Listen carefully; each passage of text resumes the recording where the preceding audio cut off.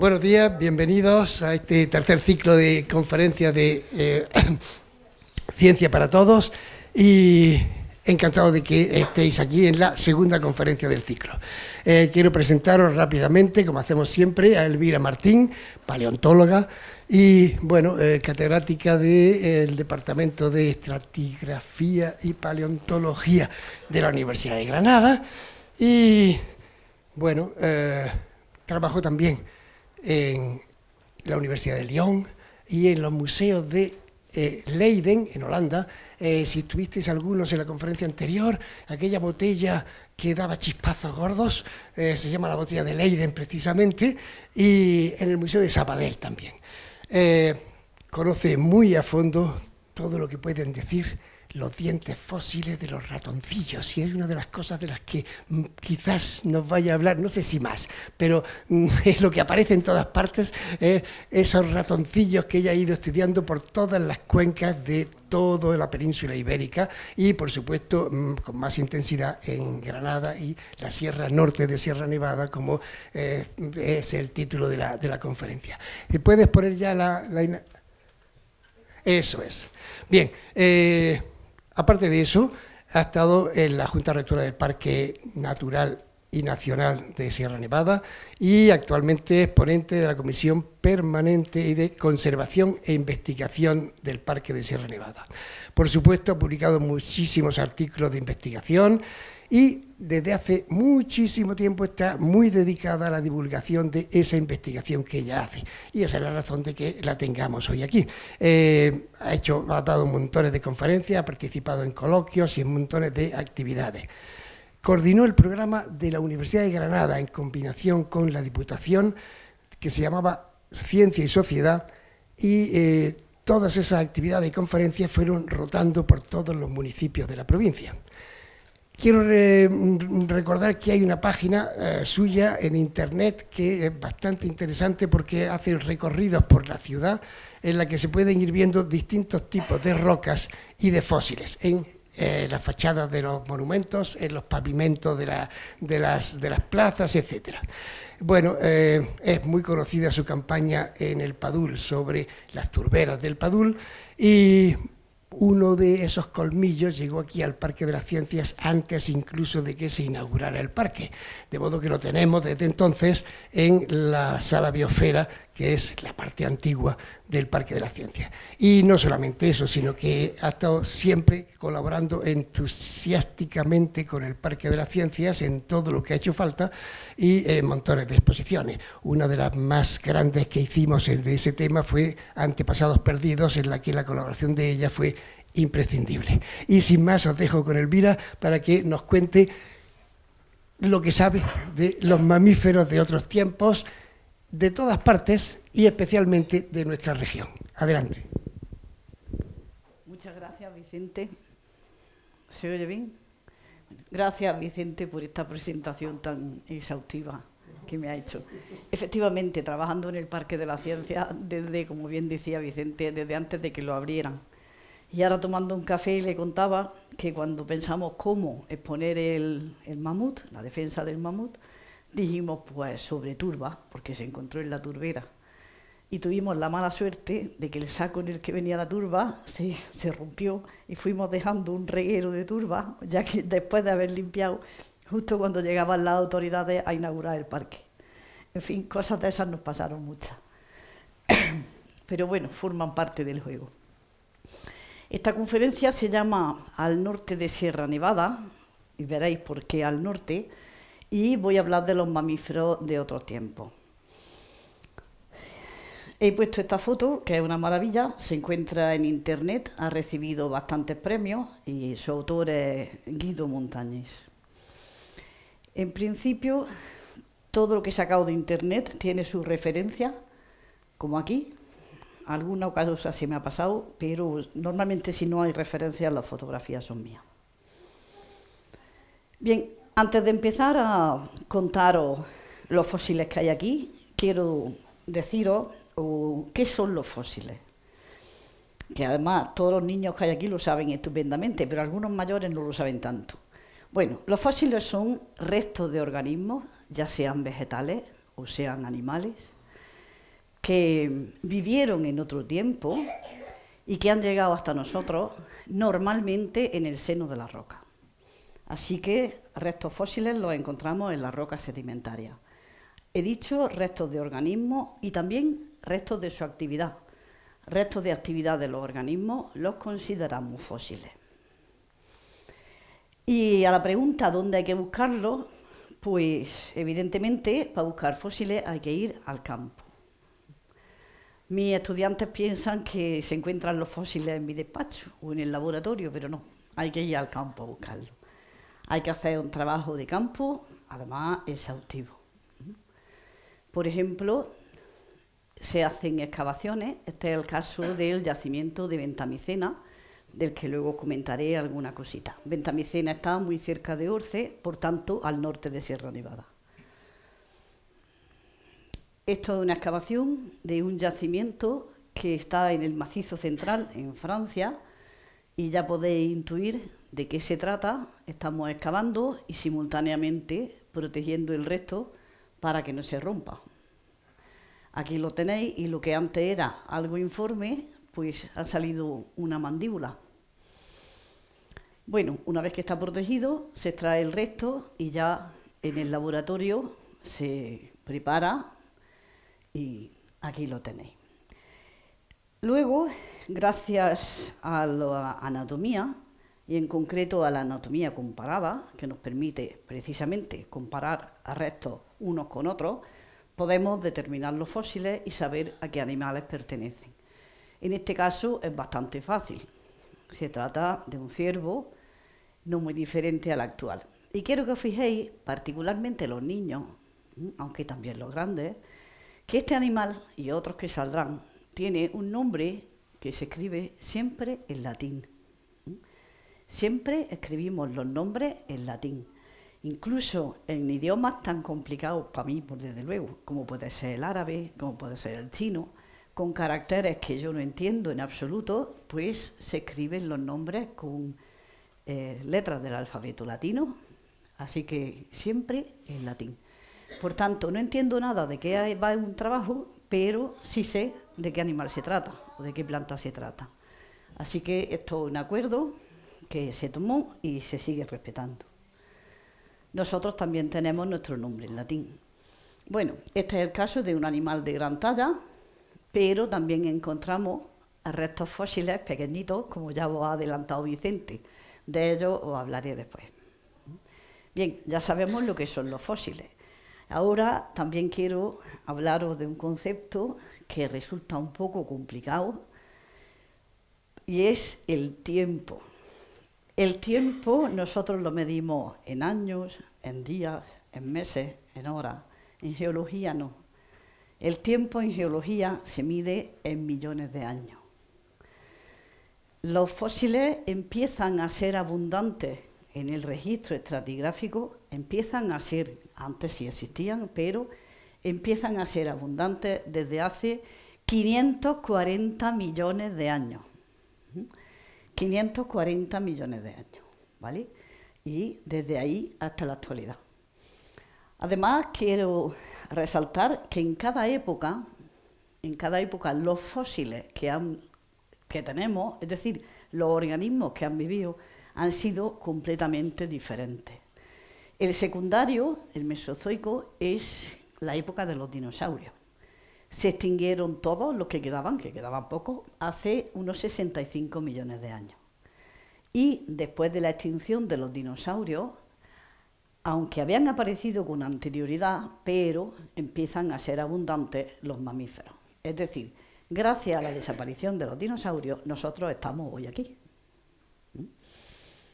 Pues en concreto, como voy a hablar de mamíferos, me voy a centrar en el terciario y el cuaternario.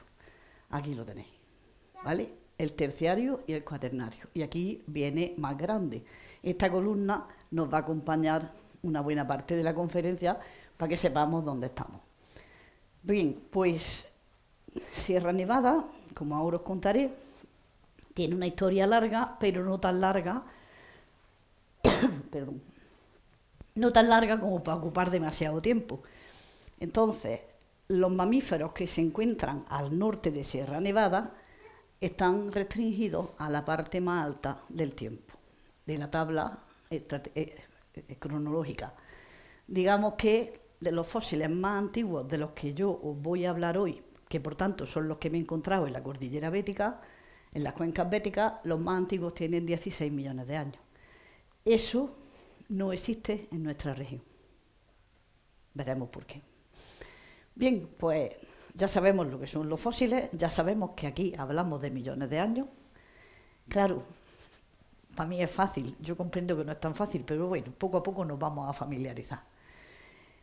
Y volvemos a tener Sierra Nevada. Lo primero que quiero deciros es que los materiales que forman Sierra Nevada no contienen ningún fósil mamífero, ningún mamífero fósil. Perdón.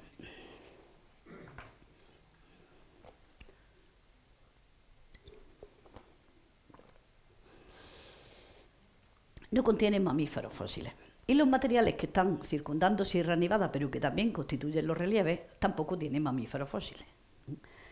Sin embargo, la presencia de Sierra Nevada ha jugado un papel muy importante en el desarrollo de la fauna al norte suya, también al sur, pero en el sur no hemos encontrado fósiles. Así que, como decía, las rocas que forman Sierra Nevada no tienen mamíferos fósiles lo cual no quiere decir que no podamos hablar del papel de Sierra Nevada. Bueno, aquí podéis ver la situación actual de la península ibérica. Esto está tomado de Google Maps, como podéis ver. Esa es la península ibérica, el Mediterráneo más occidental. Esta es la situación actual, pero no siempre ha sido así. Porque hace no tanto tiempo no existía nada al sur de la meseta. Fijaros, al sur de la meseta había una gran masa de agua, sur de la meseta y norte de África. Esto era una gran masa de agua, lo que explica que no haya mamíferos fósiles en Sierra Nevada, porque cuando empiezan a desarrollarse los mamíferos, aquí en nuestra región estaba debajo del agua.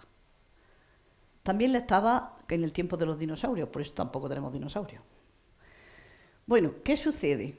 Pues tenemos una masa de agua inmensa, pero poco a poco el fondo se va levantando y forma una serie de islas. Y eso sucede hace unos 20 millones de años.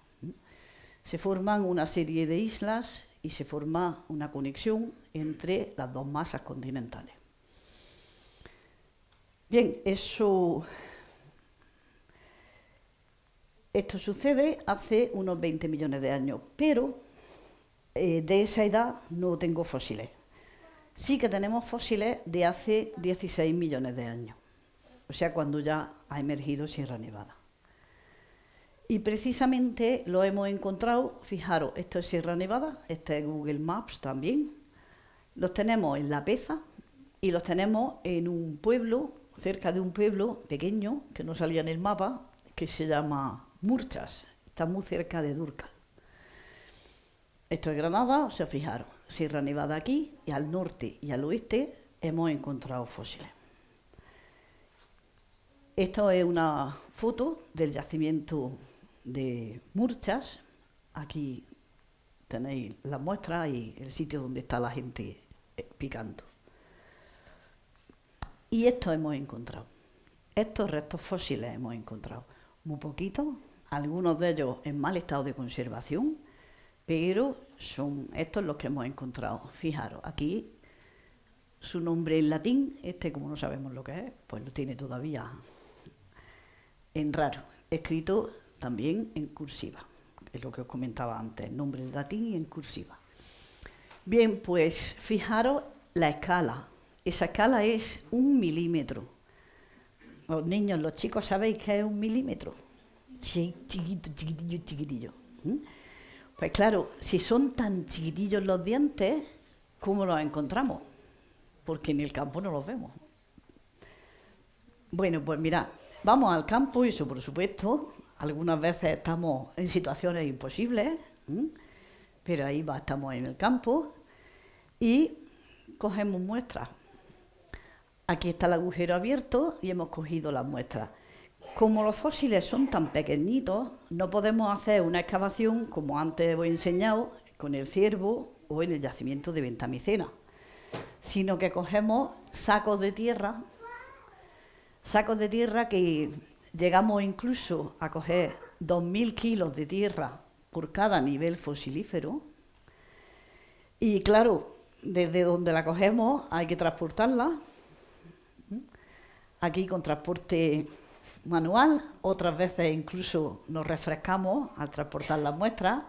Aquí pues usamos una tirolina, hay distintos métodos hasta conseguir llevarla al Land Rover. Esta foto tiene su interés porque, como podéis imaginaros, procesar 2.000 kilos de tierra por cada nivel fosilífero no puede ser un trabajo individual, es un trabajo siempre de grupo. Del grupo de investigación al que pertenezco y que trabajamos juntos desde hace muchísimos años. Bien, y otras veces se requieren palabras mayores para transportar las muestras. Aquí ya lo tenemos que hacer con camión.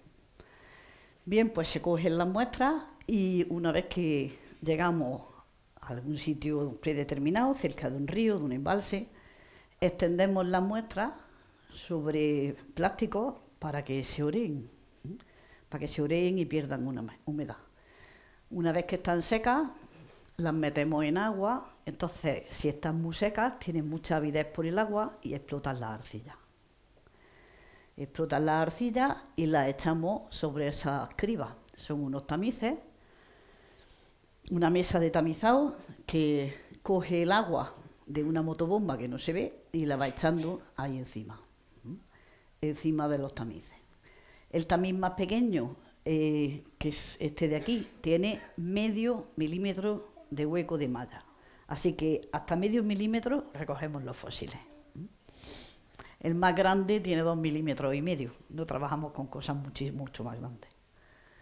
Bien, sale ese residuo y en el campo solo utilizamos agua. Y ese residuo ya nos lo llevamos al laboratorio y en el laboratorio sí, ahí sí usamos productos químicos, muchos. Usamos ácido acético porque normalmente hay que disolver los carbonatos que tienen los materiales. Usamos también agua oxigenada porque es necesario quitar la materia orgánica, materia orgánica que normalmente es actual son raicillas y demás de las plantas que están penetradas en el terreno. Pues bueno, luego se limpia el laboratorio. Y después, con ayuda de un microscopio, se van sacando los fósiles y ya los tenemos disponibles. Eso, entre otros. Estos son fotografías de microscopio electrónico. Una cosa tan pequeñita es muy difícil de fotografiar en fotografía óptica. Estos se hacen en los servicios técnicos de la Universidad de Granada. Bueno, cualquier otra, pero yo lo hago aquí. Bueno, os he enseñado los dientes, pero bueno, la anatomía comparada nos dice que pertenecen a un grupo de animales que se llaman lirones. Su nombre zoológico es Gliridae. Los lirones son animales que duermen en unos nidos que hacen en los árboles. Duermen todo el invierno. Por eso se dice duerme como un lirón porque estos animales hibernan y se pasan pues, seis meses durmiendo. Son animales pequeños, claro, con esos dientes tan pequeños, lógicamente son animales pequeños, como eso. ¿Mm? Como eso. Pero los que nosotros nos hemos encontrado son bastante más grandes que los parientes que se encuentran en el continente. Los nuestros, sin contar la cola, el tamaño que estimamos son 12 centímetros y medio, que eso es mucho más grande que los del continente, y este, pues casi 15 centímetros, que son más grandes que los del continente. Ese tamaño, además de la forma tan complicada de los dientes, nos indica que son animales que vivían en una isla, son animales insulares. Entonces, ¿Qué pasa? Pues que lo hemos recogido hace 16 millones de años en la gran isla que era Sierra Nevada. Emerge Sierra Nevada y es una gran isla. Por eso nos salen animales con características insulares. Bueno, más reciente y ahora, en vez de quedarnos en Granada, nos vamos a ir a esta zona, porque fijaros, esto era agua, pero con el tiempo Sierra Nevada se levanta, levanta todo lo que hay al norte de ella y forma las cuencas continentales que ahora vemos. Bien, pues hace nueve millones de años, aquí está Granada, esta es la cuenca de Guadix, y ese punto, la chincheta, marca el yacimiento que está al este de Orce, entre Orce y la Sierra de María. Se llama Cortijo de la Piedra. Y por allí es donde han rodado la película que se llama Intemperie, que está puesta ahora en los cines, de Benito Zambrano. Está rodada en esa zona. Claro, yo cuando la vi, digo, anda, si le puedo poner nombre a, a todos los caminos y a todos los sitios. Vale. Bien, pues en ese yacimiento que tenéis aquí en la fotografía de campo, bueno, son dos yacimientos en superposición litostratigráfica, los saco. En ese yacimiento hemos encontrado estos fósiles, entre otros. Los de la parte superior corresponden a ratas y ratones, al grupo de los Muridae. Son ratas y ratones y estos de aquí, eso, corresponden a un, lo más parecido a los hámsters. Esto quiere decir que era en una época, eran animales más o menos eh, de época más o menos fresca, fresquita, porque los hámsters eh, necesitan algo de frío para vivir, viven mejor en frío, en este grupo. Y además, lo más curioso es que estos animales que hemos encontrado en el sur de la península ibérica son iguales a los que hay en el resto de Europa. Por tanto, no vivían en una isla, vivían ya en el continente. La zona estaba ya conectada con el resto de la península ibérica. Esto hace 8, hace 7, pero yo hablo de hace 9, que también, ¿vale? Vámonos a algo más reciente. Aquí hay una cosa curiosa, os va a gustar. Veréis, hace 6 millones de años vamos, tenemos yacimientos en la depresión de Granada, también tenemos eh, yacimientos en la depresión de Guadix y vamos a comparar lo que sale en uno y lo que sale en el otro. Empezamos por Granada. Estos son dos yacimientos, eh, la dehesa 1 y la dehesa 16, yacimientos también en superposición, es muy importante tener una secuencia. Pues estos yacimientos están muy cerca de Arenas del Rey, cerca también de Alama de Granada. Y salieron estos fósiles. Fijaros, si yo no digo nada, las escalas son un milímetro, pero aquí no. Esta escala es medio, medio centímetro. O sea que esto ya es grande. Aquí hay medio centímetro, recortadillo. Es grande, es una mandíbula, y también hay muchas piezas sueltas y los incisivos. Una mandíbula, una cosita así. ¿De qué será? Pues recurrimos otra vez a la anatomía comparada y entonces se trata de un castor. Hace 6 millones de años, en la depresión de Granada, había el agua suficiente para tener castores. Y efectivamente, había castores. Bueno, este yacimiento está en la cuenca de Guadix, justo, justo por encima del embalse, o de la presa del embalse del Negratín. Y aquí encontramos para la misma edad esos fósiles, estos fósiles, pequeñitos, eso sí es un milímetro. ¿Qué son estos fósiles? Pues yo no los conocía. Y bueno, pues claro, hay que investigar, hay que estudiar, y se trata de los dientes fósiles de estos animales. Estos animales son las ratillas del desierto. O sea, fijaros, para la misma edad, aquí tenemos ratillas del desierto y animales típicamente africanos. ¿Por qué tenemos animales africanos en la depresión de Guadibaza y cómo han llegado hasta aquí? Pues muy fácil. Hace algo más de 6 millones de años el Mediterráneo se secó. Se secó casi por completo, salvo estas zonas que quedaban, pero en lo que es nuestra región se secó por completo. Así que, ¿cómo llegaron las ratillas del desierto? Pues una andando y otra saltando. Fácilmente, no había ningún problema. Atravesaron sin problema. hubo fauna africana que colonizó la península ibérica y fauna europea y ibérica que colonizó el norte de África. Tenemos, eh, los conocemos ambos, ¿no? Pues fijaros, para la misma edad tenemos en Guadix Baza y también en zonas de Alicante, por eso lo encontramos después, y también en Almería, tenemos animales típicamente desérticos. Eso en Guadix Baza. Y en Granada, que está un poquito más al oeste, tenemos castores para la misma edad. Es decir, hace 6 millones de años sucedía como normalmente, salvo este año, pasa en la actualidad. Normalmente la cuenca de Granada es bastante más húmeda que la cuenca de Guadix-Baza. Este año ha cambiado la cosa. Y es más húmeda porque Tiene mucha influencia del Atlántico. Entonces, las aguas vienen, o las nubes, las lluvias, las trae el poniente desde el Atlántico. En Guadix-Baza tiene menos influencia, pero sobre todo las lluvias allí vienen de Levante, vienen del Mediterráneo. Si el Mediterráneo estaba seco, no podía venir nada. Entonces tenemos una zona desértica y una zona húmeda en Granada. Pero esta diferencia tan acusada no la hemos vuelto a encontrar nunca más, ni siquiera ahora. Guadix-Baza es más seca que Granada, pero esa diferencia no. ¿Vale? Bueno, vámonos ahora hace cuatro millones de años a encontrar también un, bicho más grande, no solo ratones. Bueno, los vamos a encontrar en este yacimiento, que es un relleno en una, una cueva, en una cueva que se fue rellenando y ese relleno tiene muchísimos fósiles. Es el yacimiento de Moreda, aquí están los estudiantes trepando por todos lados, y encontramos ese animal.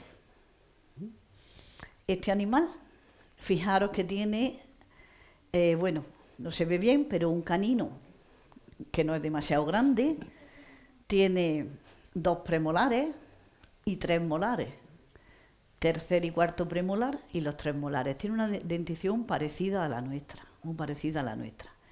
Se trata de un primate, de un mono. No pongo el nombre porque es que es un nombre muy feo, Paradolico y digo, bueno, ni lo pongo. Ese no se lo he puesto yo. Bien, es un primate muy parecido a ese. Este es el mono de Berbería. Estas fotografías están hechas en el Atlas, pero es lo mismo, es lo mismo que la mona de Gibraltar. ¿Vale? El Atlas en Marruecos. Y en aquella época, hace unos cuatro millones de años, pues estimamos que el ambiente, el medio ambiente, era parecido a eso. Un ambiente más o menos cálido, eh, tranquilo, fijaros con tortugas gigantes que son muy curiosas. Bueno, eh, eso es lo que apreciamos. Bueno, ya nos vamos al cuadernario. Fijaros que he ido siguiendo una secuencia cada vez más próxima a nosotros. Hace dos millones de años, pues encontramos eh, el yacimiento de Fonelas, que si no lo conocéis os recomiendo que vayáis a verlo. Es una estación paleontológica que ha montado el Instituto Geológico y Minero de España. Se visita, es gratis. Sí que se recomienda que solicitéis la visita en la página web, no por nada, sino porque hay una persona allí que guía las visitas y si está con un grupo no puede atenderos. Así que es preferible eh, quedar con ellos. Se llega con el coche hasta prácticamente hasta la base de, eso, andando es completamente accesible y hay una pasarela arriba, desde la pasarela se pueden ir viendo los fósiles que están abajo. Lógicamente no se puede pisar la zona que está donde están los fósiles.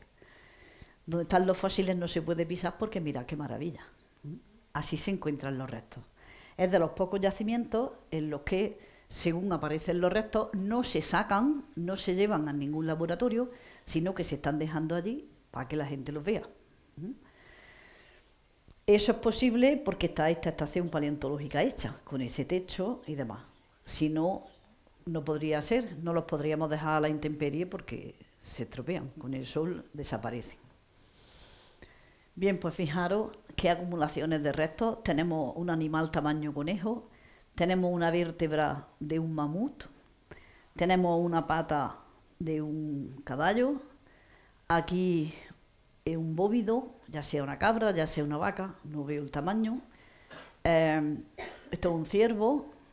Fijaros qué cantidad de restos y esos restos se pueden ver. Bueno, además de eso hay eh, son, el yacimiento tiene interés, eh, vale, el yacimiento tiene muchísimo interés porque en él hemos encontrado especies que ya se conocían en la península ibérica en otros yacimientos, especies que vienen de Asia, de una migración del este al oeste, y especies también africanas, como son la hiena, la gacela, esto es un jabalí de, río, y así que hay una, una riqueza, una diversidad impresionante en el yacimiento.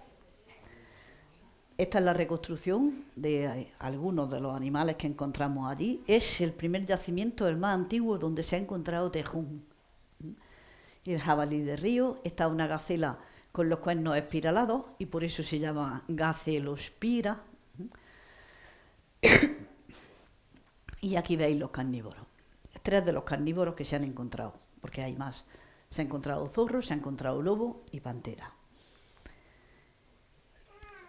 Otro carnívoro, en este caso carroñero, la hiena, que es la responsable de la acumulación de los restos en el yacimiento. Todos esos restos los iba acumulando la hiena. Por eso nos encontramos, por ejemplo, mamut, solo una vértebra que se la podrían transportar, pero claro, una hiena no puede tirar de una pata de un mamut. Encontramos cosas pequeñas y eso es lo que tiene. Bueno, esa es la hiena. Y otro carnívoro que falta, que sé que os va a gustar, es ese. Es un cráneo que está conservado allí en el yacimiento, que podéis verlo. Este es el canino, enorme, porque es un tigre diente de sable. Uno de los tigres dientes de sable. Este es el Meganterium, hay varios tigres dientes de de sable a lo largo de la historia, y la reconstrucción que hace mi colega Mauricio Antón. En época algo más reciente, y ha salido, el animal del que os voy a hablar, ha salido en Guadalajara, ha salido en Granada. Este es un corte que está en la autovía eh, cerca del pueblo de Huetortájar. Y aquí, aunque no, se ve, porque ya os he dicho que cuando tenemos que coger eh, mamíferos de pequeño tamaño, no hacemos excavaciones, sino que cogemos sacos de tierra, los transportamos. El concepto de yacimiento, claro, es diferente al de la excavación. Aquí tenemos cinco niveles en superposición litoestratigráfica que tienen muchísimo interés, esa superposición. Bueno, en todo ello, o al menos en algunos de ellos, ha salido este fósil. Veréis, estos son dientes también, pero si os dais cuenta son diferentes de los que os he enseñado antes. Todos los dientes de todos los animales son distintos, por eso podemos reconocerlos. Pero eso solo sucede en los mamíferos. En los reptiles no se pueden diferenciar los dientes. Y cuando hablo de reptiles, hablo también de dinosaurios. Por los dientes no los podemos reconocer. Esto se trata de ese animal que es Galemis pyrenaicus, es el desmán del Pirineo. ¿Mm? El desmán del Pirineo es un animal carnívoro, por tanto tiene dientes puntiagudos, como corresponde a un animal carnívoro. Estos son los caninos y otro canino. Es un animal muy curioso, aquí lo tenéis, es de pequeño tamaño, la escala sigue siendo un milímetro y curiosamente, este animal vive, necesita para vivir, y por tanto es muy buen indicador ecológico, necesita para vivir aguas muy limpias, agitadas de alta montaña. En el pasado todas las aguas estaban limpias, porque los que ensuciamos somos nosotros, pero aguas agitadas y de alta montaña. ¿Y cómo lo encontramos aquí? Pues lo encontramos gracias a Sierra Nevada. Esto es la alta montaña que permite que estos animales hayan vivido en nuestra región. ¿Mm? Si no hubiéramos tenido Sierra Nevada, evidentemente este animal no lo hubiéramos encontrado. ¿Mm? Tiene estos fósiles que yo he encontrado tienen un millón y medio de años, pero persiste en nuestra región hasta hace 600.000 años, o sea que es una especie con una persistencia larga. Eh, yo lo determiné como Galemis pyrenaicus porque no hay forma de distinguirlo del actual. Así posiblemente sea la misma especie que ha llegado hasta nuestros días. Actualmente no vive aquí. no es que no tengamos alta montaña, es que posiblemente tenemos la agua bien contaminada. ¿Mm?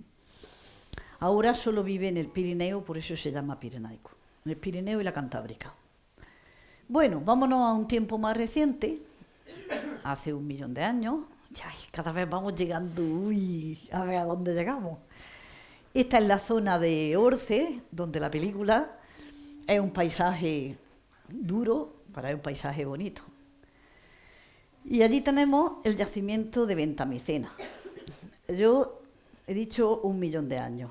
Alguien va a discutir conmigo si queréis, pero siendo generosa le doy un millón de años. Es un yacimiento absolutamente fabuloso también. Tiene una concentración de restos óseos impresionante y una diversidad de formas distintas también impresionante. Es un yacimiento extraordinariamente rico. Fijaros, por ejemplo, el perro, bueno, el lobo es enorme. Estas divisiones son 10 centímetros. El lobo es de verdad para asustarse. Y esto es solo la mandíbula. Aquí, pues ya veis. Casi 20 centímetros de mandíbula. Y son pedazos de lobo para asustarse. Bueno, pues salen los fósiles y además muy bien conservados, lo mismo que pasaba en Fonela. Y el paisaje, que la reconstrucción que hace Mauricio Antón, pues es de este tipo zona con mucha agua, lago no demasiado profundo, por lo que sabemos de que nos dicen las rocas, y con esa fauna, y además es curioso porque el elemento dominante allí son los caballos, hay muchísimos caballos, ¿vale? Las reconstrucciones las hacen los artistas, como a ellos les gusta, y la, los colores también se lo ponen los artistas, y se basan en los criterios actuales. En la actualidad no hay animales mamíferos de color azul, pues tampoco en el pasado cabe esperar que lo hubiera. Es un color raro en la naturaleza, como sabéis, entre los mamíferos ya, por supuesto. Bien, este es el yacimiento de Ventamicena, un yacimiento fabuloso, y los restos, todos los restos que allí se encuentran, también fueron, todos no, pero una parte, la mayor parte, claro, fueron acumulados por las hienas, como sucede en Fonelas. Y ya voy a enseñaros los últimos lanudos, animales lanudos, que salieron en la turbera de Padul, que ya ha comentado Vicente.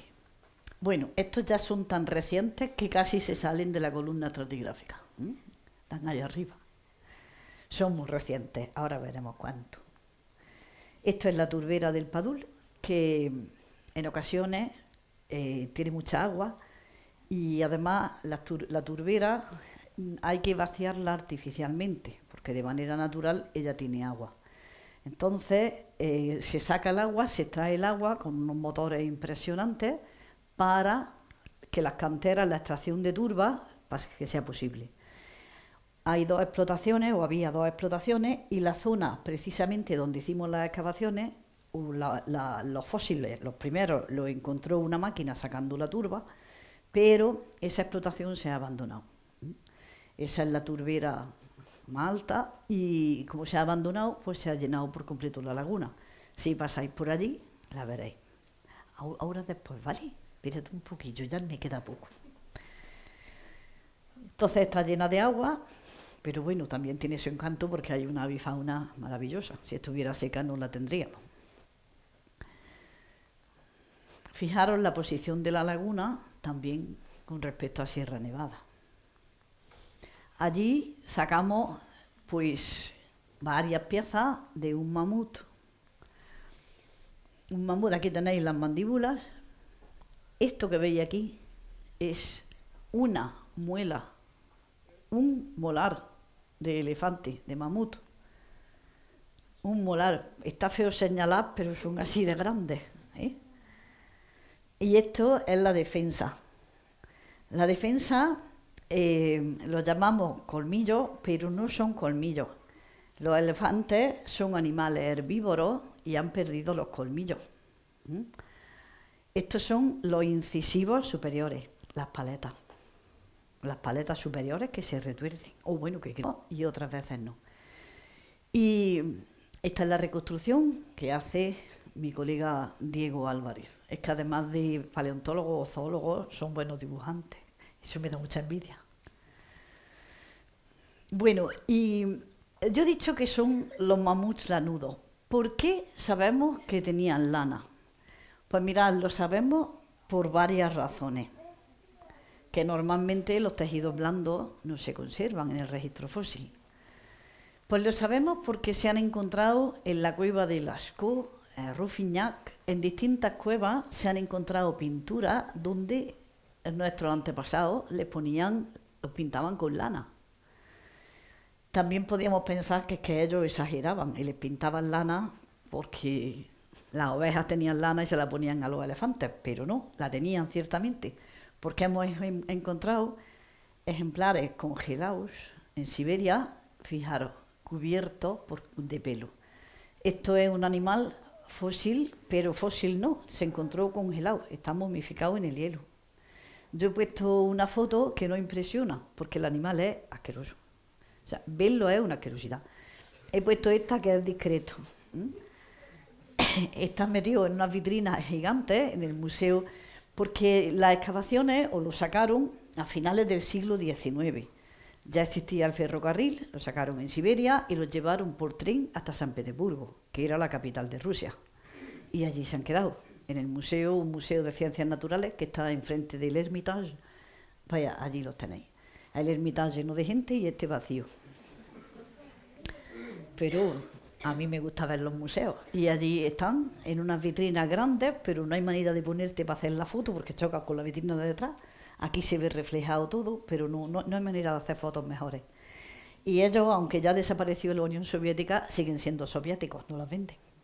Allí no venden una diapositiva, ni un imán, no tienen nada. Bueno, pues volvemos a la turbera, a donde encontramos los mamuts. Los mamuts han salido en los dos niveles de turba que hay en esta turbera. Más abajo no hay turba, hay otras cosas, pero estos son los dos niveles que están en explotación. Y ahí salen los elefantes fósiles, los mamuts fósiles. Los más antiguos tienen unos 40.000 años, los más modernos tienen 30.000 años. Eso coincide con dos picos de glaciaciones, lógicamente. Ahí los tenemos. Además, resulta que los que nosotros hemos encontrado son iguales desde el punto de vista de la anatomía. No encontramos absolutamente ni diferencia entre los del Padul, en los que se encuentran en el norte de España, los que se encuentran en toda Europa e incluso los que se encuentran en Norteamérica. ¿Mm? Son iguales. El mamut lanudo, el primigenius. Estimamos que cuando estos animales vivían, la temperatura media anual en nuestra zona era de 10 grados centígrados. En la actualidad, la media, aunque la tendencia va para arriba, es de 15. Es decir, había 5 grados de media anual menos que en la actualidad. Y eso había permitido una cobertura de nieve y de hielo que por con los que vinieron los mamuts, no solo los mamuts, vinieron más fauna, algunas de ellas siguen aquí.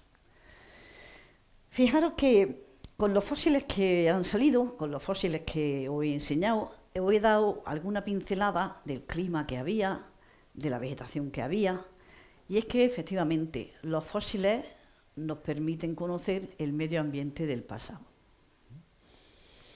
Por ejemplo, nos permiten interpretar que si nos encontramos esa asociación y después está, ha habido un enfriamiento. ¿Vale?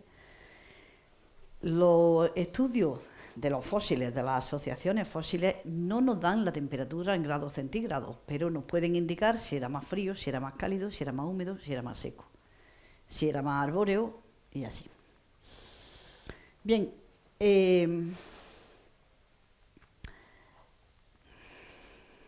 Hablando de la temperatura, un parámetro que se usa mucho y que hoy en la televisión todos los días hablando es el nivel del mar. Con el calentamiento global, con el calentamiento climático, va a subir el nivel del mar. ¿Por qué? Pues cuando hace calor se derriten los hielos que hay en los polos, el agua está en el mar y sube el nivel, ¿vale?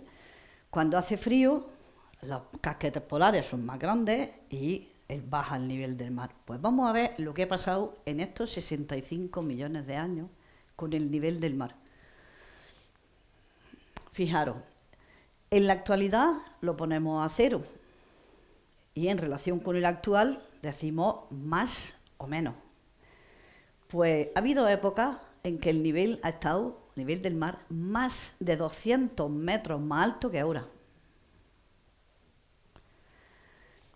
En el Eoceno, en el Paleoceno, en el Oligoceno, y no hace tanto, yo he estado hablando ya desde los últimos 20 millones de años, hace 16, hace 10 millones de años, fijaros, hace, bueno, algo más de 10 millones de años. El nivel del mar a nivel globalmente estuvo bajo. Pero es que ahora también está muy bajo. Aquí tenemos las grandes oscilaciones climáticas que ha habido con las glaciaciones.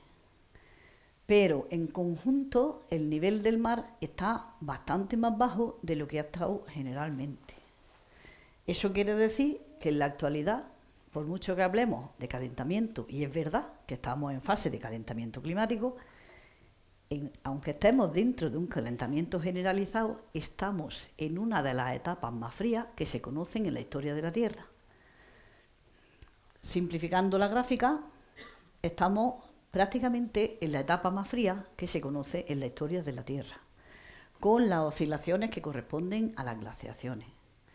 Tuvimos la última glaciación hace 12.000 años y la próxima no sabemos cuándo llegará pero entre una glaciación y la otra hay un máximo de calor. Y ahora, en ese calor máximo, o a ese máximo de calor todavía no hemos llegado. Es decir, salimos de una glaciación hace 10, 12 mil años, empieza a calentarse la Tierra, pero aún no hemos, llegado al máximo de calor. O sea que esto nos toca que se siga calentando. Eso es el calentamiento climático, que es inherente a la historia de la Tierra. Pero cuando hablamos de calentamiento global nos referimos al calentamiento climático y a la mano del hombre, que está provocando la aceleración de ese cambio. ¿vale? Entonces, en esta fase cálido-frío, cálido-frío, la Tierra siempre se ha recuperado, no ha habido ningún problema. ¿Qué pasa en la actualidad y cuál es el peligro? Que como estamos acelerando el ritmo del calentamiento, no sabemos cómo va a responder el gran ecosistema global que llamamos Gaia la tierra. Y por eso hay que tener cuidado, porque, bueno, en fin, que yo sé que resulta raro oír que estamos en una de las etapas más frías que se conocen en la historia de la Tierra, pero es así. Y en nuestra región ha habido esas oscilaciones, como en toda la Tierra oscilaciones y nosotros hemos tenido ambientes desérticos, ambientes boscosos, épocas glaciares y todos los paisajes posibles han pasado por aquí. Ha habido un cambio, unas sucesiones impresionantes. Uy, perdón. Las sucesiones, pues, conllevan etapas áridas, etapas cálidas, esta es la actualidad, esto también es la actualidad. O sea que dentro de un mismo paisaje, dentro de una misma zona, tenemos ambientes, digamos, más vegetados y, y otros deforestados. Pero en fin, vamos a cuidar el medio ambiente, que es lo que nos corresponde. Y para terminar, quiero poneros una reconstrucción que también ha hecho mi colega Mauricio Antón, que además de ser un buen zoólogo, es buen dibujante y espero que la disfrutéis.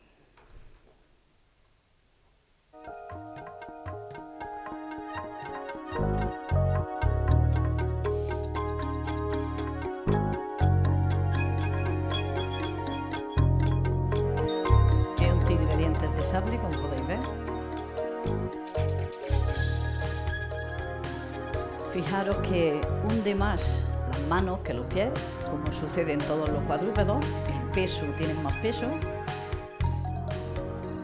Fijaros en la escápula, la cintura escapular solo está formada por una pieza, han perdido la clavícula y el coracoides que lo perdimos hace muchos años. ya que se ha vestido, se ha dado un paseillo al medio ambiente.